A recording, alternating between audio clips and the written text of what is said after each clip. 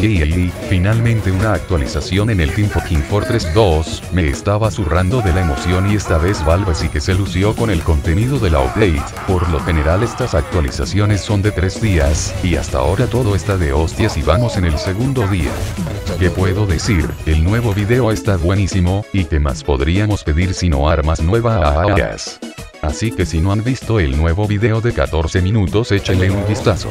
¿Y qué es lo que trajo la actualización?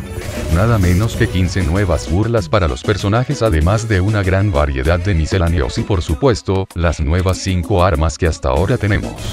Ahora el mecanismo de las burlas funciona de una manera muy diferente, lo que debes hacer es abrir el menú del personaje y ya no dar clic a la derecha sino en el nuevo cuadro abajo del personaje, ahí simplemente seleccionas la burla y ahora dentro del juego podrás activar hasta 8 burlas con el mismo mecanismo que los disfraces del espía, yo tengo la burla de la conga y es simplemente hilarante, y qué decir de las armas, se ven absolutamente geniales, he visto que mucha gente intenta craftearlas utilizando símbolos de clase y cosas así pero para los que no sepan eso no es necesario, existen los planos de las armas en el menú de crafteo, solo deben ir a la parte de abajo y listo, en este momento no está disponible el arma de Scout no sé si eso vaya a cambiar en el futuro pero probablemente sí, así que ahí lo tienen, y no son muy costosas de hacer, y déjenme decirles que el paracaídas definitivamente es la mejor arma que han puesto en mucho tiempo, esta arma se puede usar en el soldier de secundaria y en el Emoman de primaria y les aseguro que va a cambiar la forma en la que funciona el juego, porque ahora no solo tendremos que preocuparnos por los enemigos en tierra sino en el cielo también.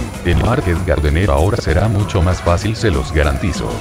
Bueno sigan disfrutando de la update y estaré haciendo eventos próximamente, el grupo de Steam está en la descripción del video, hasta pronto y nos veremos en el juego.